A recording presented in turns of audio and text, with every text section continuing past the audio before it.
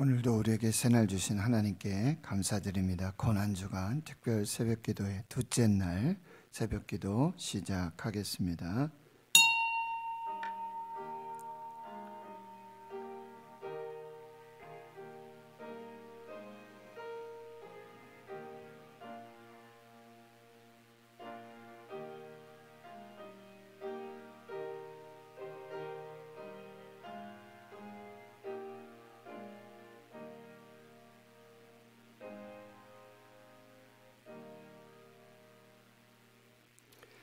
하나님 감사합니다. 오늘도 새날 주시고 새 생명 주심 감사합니다.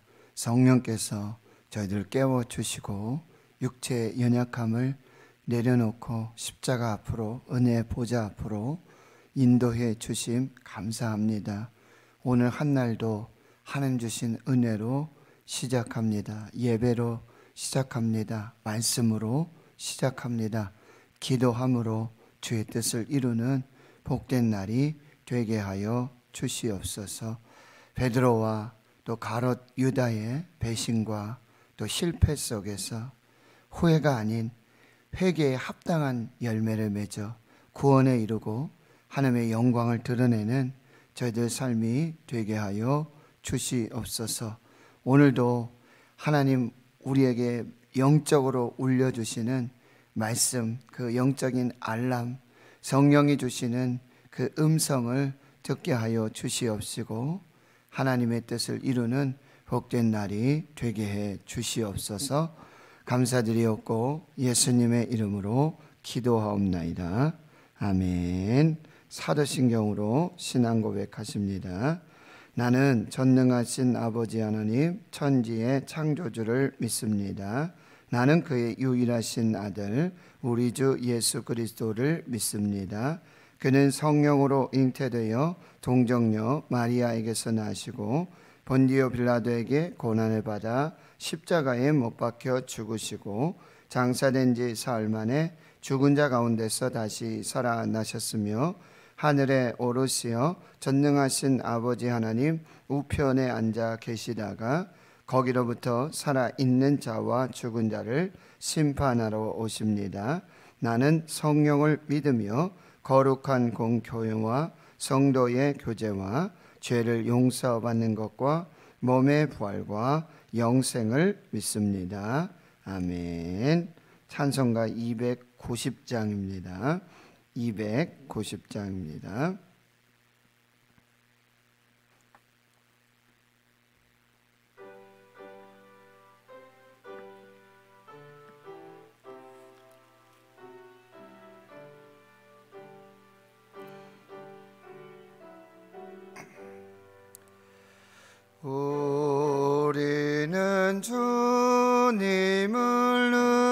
늘 배반하나 내 주 예수 여 전히 날 부르사 그 참되신 사랑을 베푸시나니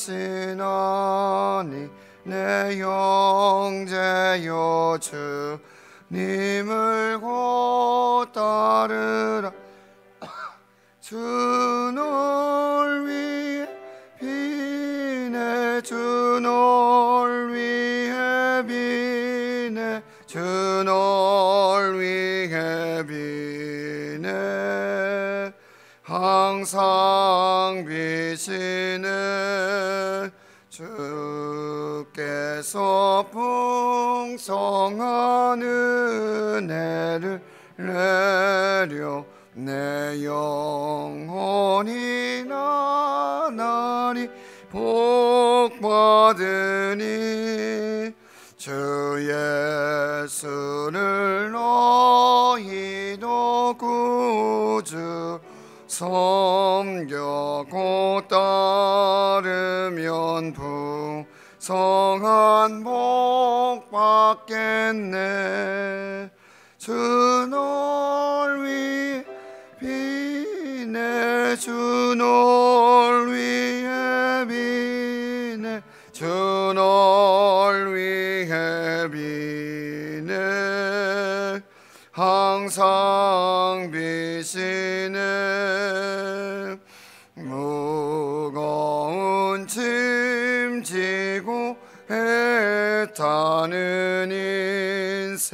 주 예수께 돌아와 고치어라. 내 주 예수 너희를 돌보실 때에 참 복락과 안위가 넘치겠네. 주노 위에 비네 주널 위해 비네 항상 비시네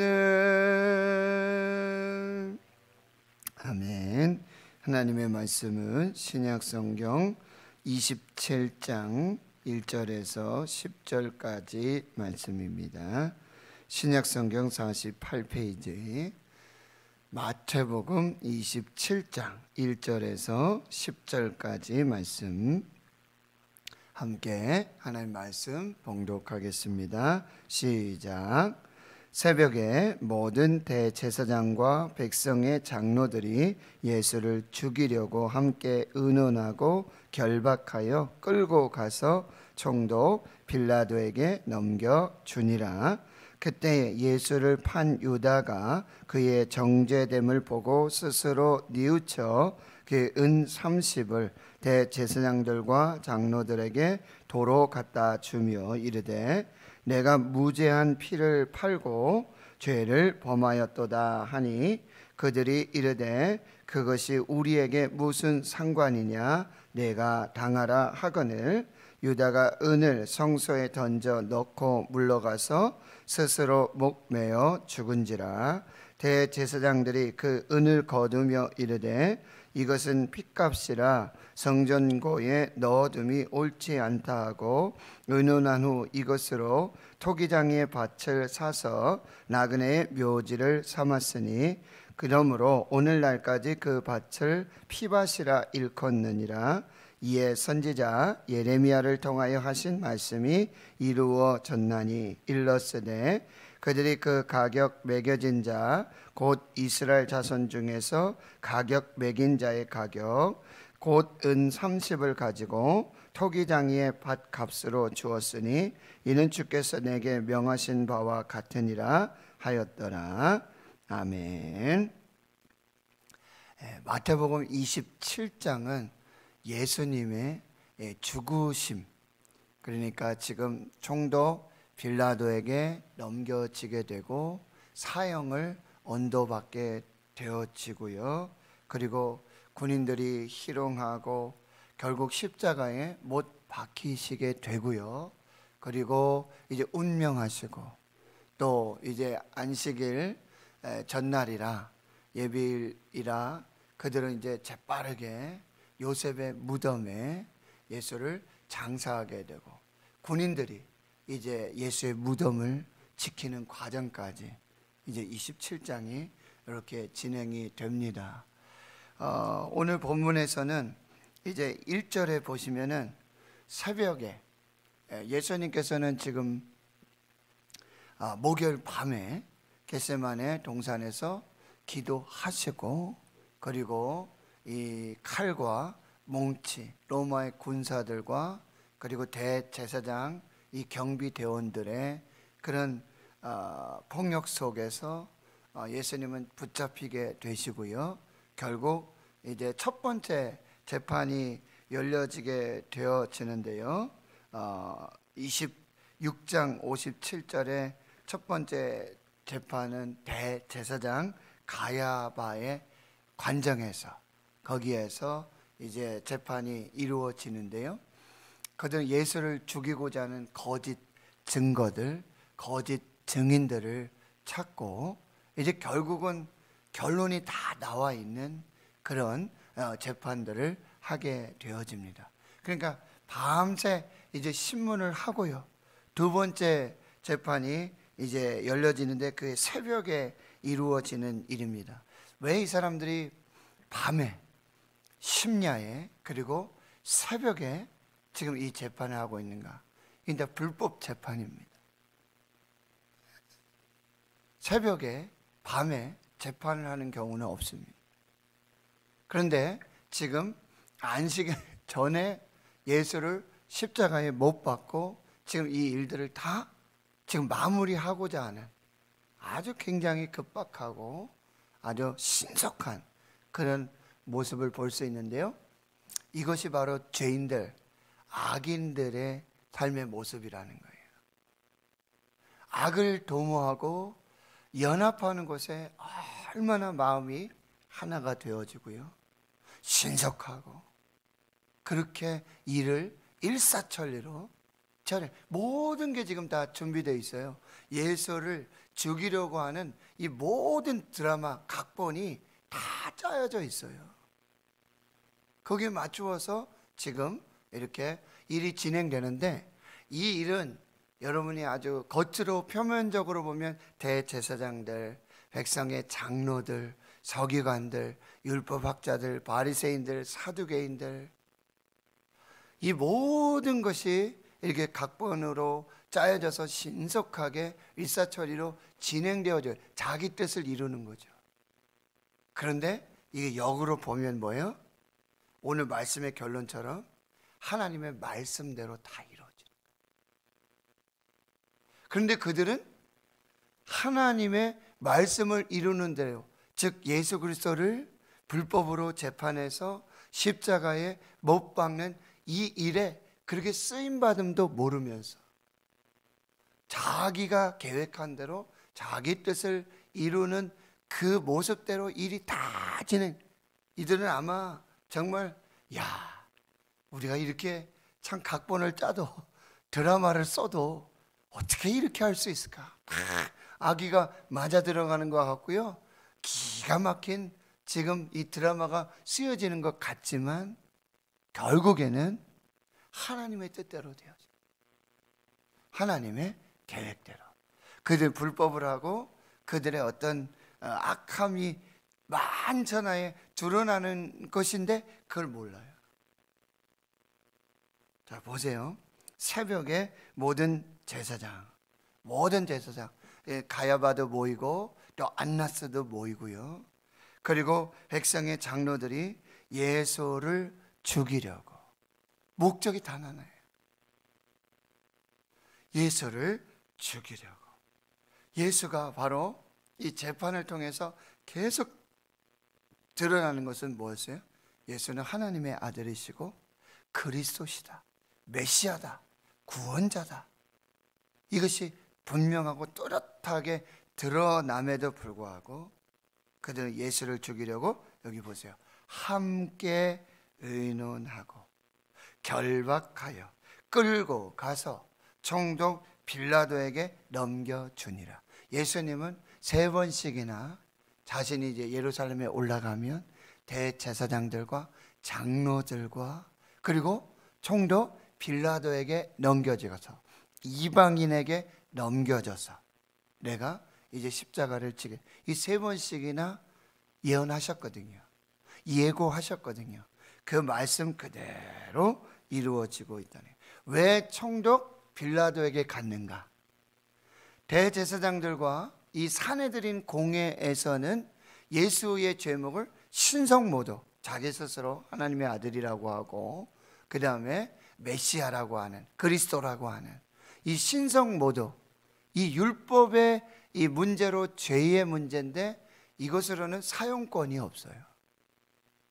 공식적인 이제 합법적인 사용권을 얻기 위해서 당시 로마의 총독이었던 빌라도 그에게로 데려가고 있는 거예요. 얼마나 이게 치밀한지 몰라요. 이 로마의 총독 빌로단, 빌라도는요, 로마 황제 디베료가 임명한 이 유대 지역의 다섯 번째 총독이었습니다. AD 26년에서 10년간 유다의 총독으로 재임했어요. 역사적 사실입니다. 예수 탄생 후에 예수님이 33살, 이게 33세, 30세까지 사생애를 사시고 3년 동안 공생에 사시고 십자가에 죽으신 이런 모든 배경들이 다 역사적 사실로 밝혀지게 되어지는 것이죠. 그는 보통 이 가이사라에 주둔하면서 유다를 다스렸는데 이 명절 이런 기간들이 되면 특별히 예루살렘에 올라와서 치안을 담당하면서 이 일들을 지금 감당하고 있으니 이것도 여러분 기가 막히게 아기가 맞아 떨어지는 거예요. 아니면 이들이 예수를 붙들고 가이사라까지 가야 돼요. 총독 관저가 있는. 근데 임시 관저가 지금 예루살렘에 이렇게 명절의 기간 동안 왜냐하면 명절에 이렇게 폭도들이 또 폭동을 일으키는 치안이 안 되는 그런 일들이 벌어지고 이 대제사장들과 장로들도 지금 민심이 흉흉하니까 지금 예수님의 그 예루살렘 입성 낙이 타고 입성하시는 그 모습들을 보니 뭐 군중이 완전히 반반으로 나눠지고요. 이게 지금 뭔 일이 일어나도 일어날 것 같은 그런 아주 기판한 상황들이 이렇게 지금 진행되고 있거든요. 그러니까 어, 명절에는 하지 말자 이런 자체적인 결론을 내리고 있었지만 불쑥 유다가 찾아와서 내가 예수를 넘겨줄 테니까 돈 달라고. 그 은 30을 거래하고 지금 일이 일사천리로 진행되고 있는 것입니다. 자, 여기서 우리가 한 가지 기억해야 될 것은 여러분 모든 권세는 하나님이 정하셨고 하나님이 주셔야 이룰 수 있다라고 하는 거예요. 대제사장의 권세도 장로들의 권세도 총독 빌라도에게 있는 권세도 하나님이 정하셨고 하나님이 주셨다라고 하는 것입니다. 그런데 그 권세, 그 권력을 가지고 자기 뜻을 이루고 예수를 죽이려고 하는 그곳에 쓰여지는 것이 아니라 약자를 보호하고 하나님의 정의와 공의를 세우는 곳에 이 하나님이 주신 권세와 권력이 사용되어져야 한다. 제가 성찬을 베풀거나 세례하거나 누구 임직을 한다든지요, 은퇴를 한다든지 그럴 때 제가 마지막에 선포하는 것이 무엇입니까? 하나님이 교회와 저에게 주신 하나님의 권위로 성부, 성자, 성령의 이름으로 세례를 주고 누굴 장로로, 누굴 권사로, 누굴 집사로 임직하게 하고 그리고 예수 그리스도 이름의 권세로 은퇴하게 하는 내 힘으로 하는 게 하나님이 교회와 저에게 주신 권위와 권세로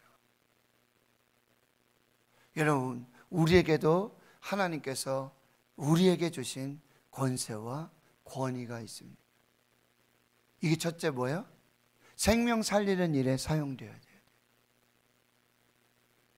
그리고 하나님의 뜻을 이루고 하나님의 의를 이루고 하나님의 공의와 정의가 세워지는 곳에 하나님 주신 권세와 권력들을 사용해야 된다.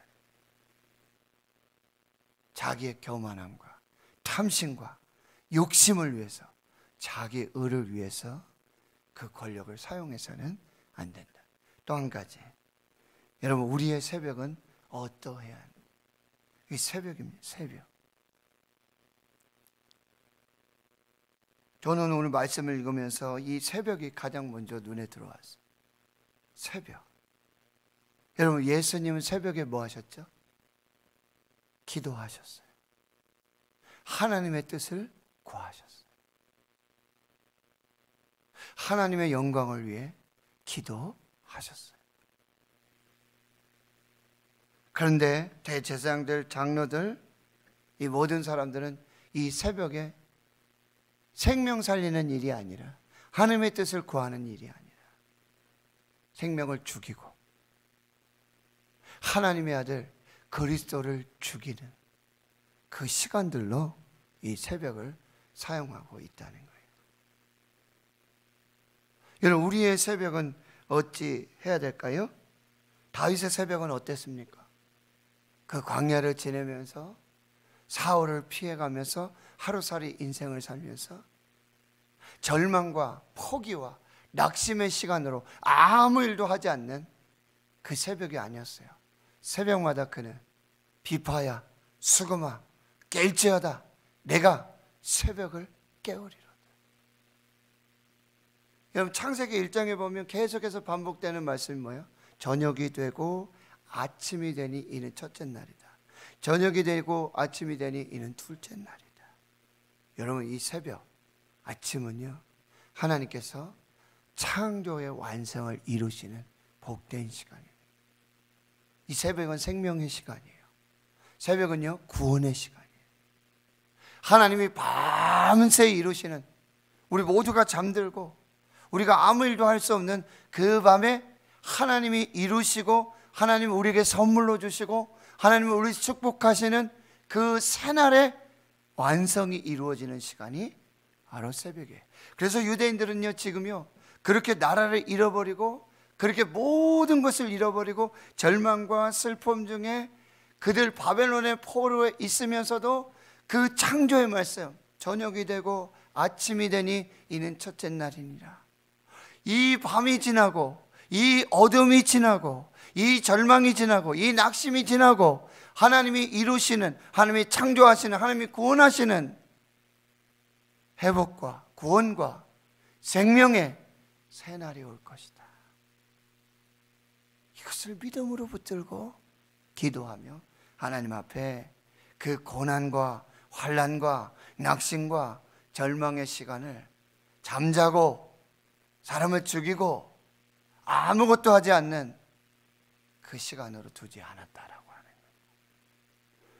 거예요. 저와 여러분이 한국 교회가 우리 대구 신흥 교회가 이 새벽이 다시 살아나기를 축원합니다. 코로나 19로요 새벽이 다 죽었어요.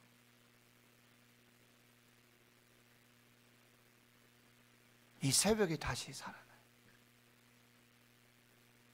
그리할 때 하나님의 역사와 은혜와 영광. 그러면 다윗이 새벽이 살았기에 그의 생명이 살았고 그의 인생이 살았어요. 야곱이요 야복에서 밤새 씨름. 그러나 새벽에 하나님의 축복을 받아 야곱이 이스라엘 되고 분이엘의 영광을 보는. 그는 육체적으로는 실패했죠. 환도뼈가 무너졌죠. 그러나 그는 영으로 살고 육으로 죽었지만 영으로 사는 그 축복의 새날을 맞이할 수 있었다라고 하는 것입니다. 하나님 성도 여러분, 새벽을 살리십시오. 어떻게 하든지 새벽이 살아나야 한다. 그때 하나님께서 이루어 주시는. 그래서 제가 한번 말씀드렸죠. 좀 새벽 기도는 참 은혜인 것. 한밤중에 깜깜한 중에. 지금 새벽 기도요. 여러분 5시 반에 하기도 하고 6시에 하기도 하고요. 7시 하는 데도 있고 아, 그래요. 저도 고민이 많아요. 새벽 5시 정말 이거 옛날 에? 농사 지을 때 그때 빨리 예배드리고 나가서 일해야 되고 이러니까 그렇게 되어진 뭐 우리나라의 특성상 이런 부분도 있었는데요. 여러분 부흥의 역사, 회개 역사 이것은 새벽에 이루어졌다라고 하는 것입니다. 깜깜할 때 와서 우리가 겨울에는 특히 더 하잖아요. 그런데 왔는데 새벽에 예배를 드리고 말씀 받고 기도하고 돌아가는 그 길은요. 날이 밝는. 그래서 저는 참 이 새벽이 좋습니다. 깜깜한 중에 하나님 앞에 나와서 말씀 받고 예배하고 기도하고 다시 돌아가는 그 시간에는 해가 뜨고 참 담대함이 이거 어떻게 살까? 오늘 하루 어떻게 살까? 병원에서 그러니 병원에서 밤에 잘 때요 잠도 잘 안 오죠. 뭐 진통에 뭐에 뭐 좀 잔 것 같은데요. 충분히 자는 것 같은데 한 30분 그렇고 지척에다가 또 잠을 자요. 그럼 또 한 30분, 20분? 기도합니다. 하나님, 저에게 새날이 올 수 있을까요? 내일 아침이 올 수 있을까요? 왜냐하면요, 밤새요, 밤새 침대가 빕니다. 베드가 벼요. 사람이 죽어서 나가요. 그 깜빡 20분, 30분 자는 시간에 생과 사가 결정 나는 거예요. 하나님, 저에게도 내일 새벽에 올까요? 새날이 올까요? 깨보면 막 2시, 3시. 그런데 그 병실, 제가 창문가로 이렇게 앉으면 환자들은 창문가 앉는 거, 침대가 그렇게 되어지는 걸 참 좋아합니다. 왜냐하면 이렇게 좀 밖을 내다보고 그래서 이게 창가 쪽으로 베드가 나기를 아주 기다리고 이렇게 때 선생님하고 의사 선생님한테 얘기해가지고 창가로 좀 옮겨다 주면 안 되냐고 막 이런 요구를 하기도 하는데요. 근데 그 창문 틈 사이로 십자가 보이는 거예요. 세브란스 병원 앞에서 창천 감리교회가 보이거든요. 길 건너 그 십자가 그 사진 찍어놨어요. 제가. 하나님, 제가 다시 새벽 예배할 수 있을까요? 새벽을 맞이할 수 있을까요? 저에게도 하나님 새날을 주시간 이거 사랑하는 성도 여러분, 우리의 영적인 새벽을 여러분 깨우셔야 돼요. 생명의 시간, 은혜의 시간, 이 축복의 시간을 반드시 여러분이 사수 하셔야 돼요. 사람 죽이고, 생명을 죽이고, 악을 도모하고, 참 기가 막히죠? 밤새 악을 도모해가지고 연합해서 마음을 합쳐서 나온 결론이 예수를 죽이자는 거예요. 우리는 그렇게 살면 안 돼요. 하나님 앞에서 생명을 사는 그런 은혜를 사는 이 새벽에 역사들이 나타나야 하겠다라고 하는 거예요. 그리고 여러분 3절에서부터 10절까지는 이제 예수를 판 유다가 자신의 정죄됨을 보고 스스로 뉘우쳤다. 이거 보니까 이게 아니거든요. 그러니 이제 스스로 양심의 가책을 느끼게 되고 여러분 후회하게 되어집니다. 그리고 이 은삼십이 뭔가? 이거 내 주님의 피값인데 이게 생명값인데 내가 이거 가지고 살 수 있을까? 아주 깊은 후회를 하게 되고요. 대제사장들과 장로들에게 도로 갖다 줍니다. 그리고 양심 선언해요. 4절에 내가 무지한 피를 팔고 죄를 범하였다. 여러분, 베드로의 지금 회개와 유다의 후회를 여러분이 딱 보셔야 돼요. 근데 베드로는요, 여기 심히 통곡하고 밖에 나가서 누가 울고 회개하고 하는지 모르죠. 밖으로 뛰쳐나갔으니까 거기 쫓아나와서 당신 뭐 합니까? 뭐 회개합니까? 이거 모르죠. 안 보여요. 그런데 오히려 유다는요, 대제사장에 가서 장로들에게 가서 양심 선언합니다. 아, 제가 잘못했습니다. 그런데요, 이게 완전히 극명하게 다르다라고 하는 거예요. 도덕적으로 보면, 인본주의적으로 보면, 가론 유다의 이 후회가요, 대단합니다. 어떻게 용기를 가지고요, 대제사장에게 가서, 장로들에게 가서, 이거 제가 잘못했습니다. 이거 안 되는 일인데 제가 했습니다. 양심 선언하잖아요. 멋져 보이죠? 그리고 가롯 유다는 열심 당원 중에 한 사람이에요. 그러니까 그들 편에 봤을 때는 굉장한 용기고요. 정말 멋진 어떻게 대지상에 다시 가서 장로들에게 가서 공회 앞에 가서 자신의 죄를 예? 굉장한 아주 멋진 참 제가 이런 얘기 하기 싫어하는데요. 우리 뭐 정치인들 이렇게 보면은 아니 죄를 받아야죠. 근데 여러분 유다가 보지 못했던 것. 그 죽음마저도요 뭐요? 자기 마음대로 하고 있다. 자기 뜻대로 자기 의를 드러내도록 이 생명까지도 자기 마음대로 이 자살 이것은 하나님의 뜻이 아니에요. 자살로 포장해 가지고요. 자기 의를 포장해서 이것은 하나님의 뜻이야. 생명은 하나님이 주신 거. 하나님 앞에서. 유다는 그렇게 자신의 삶을 마감하고 있고요. 4절 마지막에 보면 그것이 우리에게 무슨 상관이냐. 내가 당하라. 보세요. 다 공모자들이잖아요. 공범들이잖아요.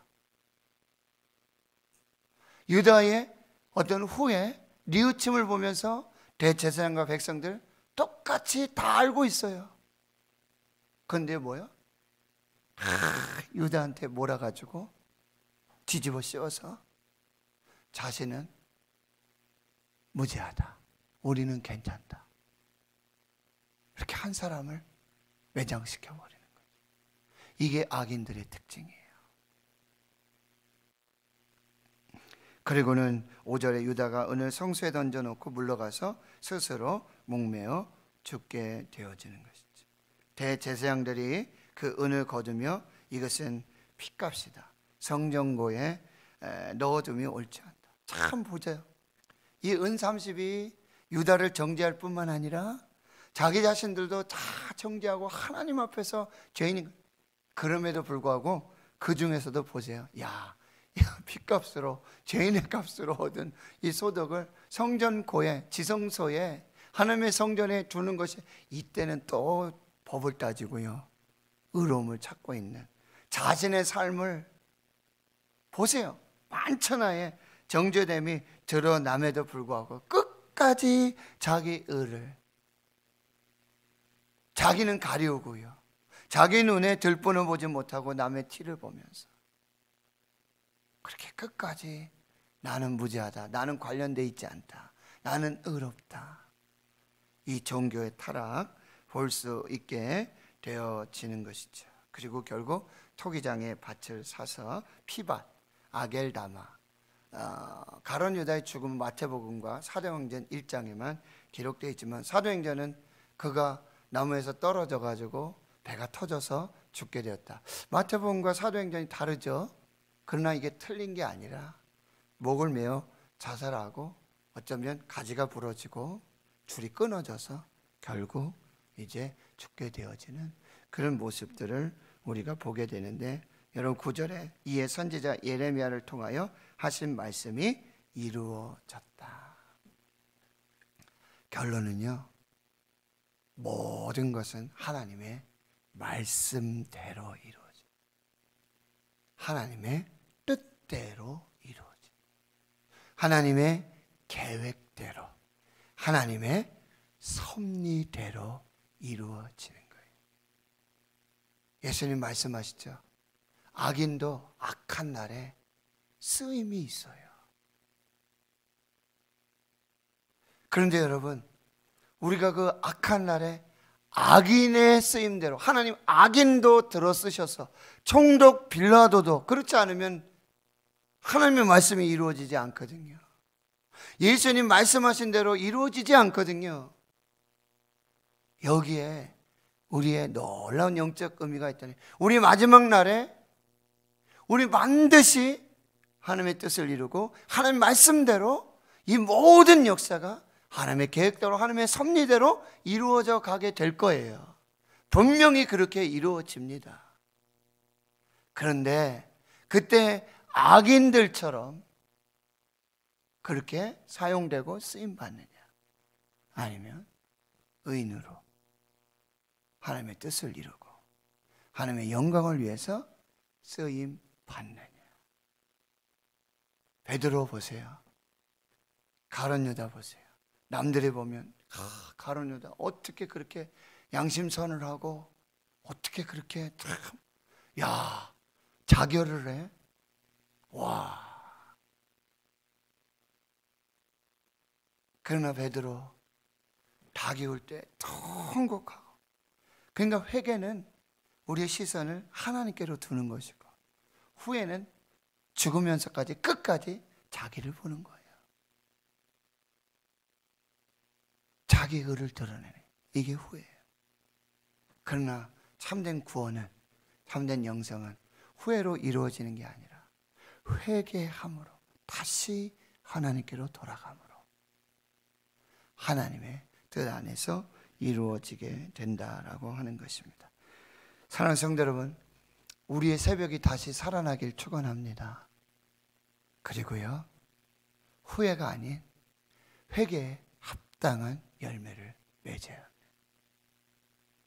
모든 역사는 하나님의 말씀대로, 하나님의 뜻대로, 하나님의 섭리대로 이루어질 때 나는 그 악한 날에 악인이 되어 악인도 쓰시는 그 삶을 살아갈 것인가 하는 하나님의 말씀 앞에 하나님의 뜻 안에서 하나님의 섭리를 이루어가는 의인의 복된 삶을 살게 될 것인가 오늘 이것을 기억하고 하나님 앞에 기도하는 은혜의 시간 되기를 축원합니다.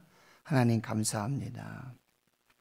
오늘 우리가 새벽을 깨웠습니다. 참 감사합니다.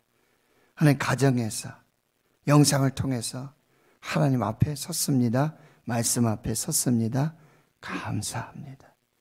하나님 우리의 새벽이 다시 살아나게 해 주시옵소서. 하나님 후회가 아닌 이루어짐을 기억하게 주여 도와주시고 마지막까지 하나님의 말씀대로 쓰임 받는 저희들 모두가 되게 해 주시옵소서. 이제는 우리 구주 예수 그리스도의 은혜와 하나님 아버지의 무한하신 사랑하심과 성령의 교통하심이 이제로부터 영원토록 함께 하시옵기를 간절히 축원하옵나이다. 아멘. 오늘 우리 두 번째 공동 기도 제목은요. 한국 교회를 위해서 한국 교회 영적 지도자들 우리 내구시는 교회 영적 리더들을 위해서 기도하는데요. 회개에 합당한 열매를 맺도록 회개의 영을 부어 주시도록 다시 회개로 하나님 앞에 회복되어지는 역사가 있게 해달라고 우리 주님 한번 부르짖고 기도하시면서 돌아가시도록 하겠습니다. 주여 하나님 아버지 사순절 고난의 주간 첫째 날 우리가 새벽을 깨우게 해주시니 감사합니다. 새벽 아버지 하나님 죽음의 시간 절망의 시간 낙심의 시간으로 끝나지 않고 저녁이 되니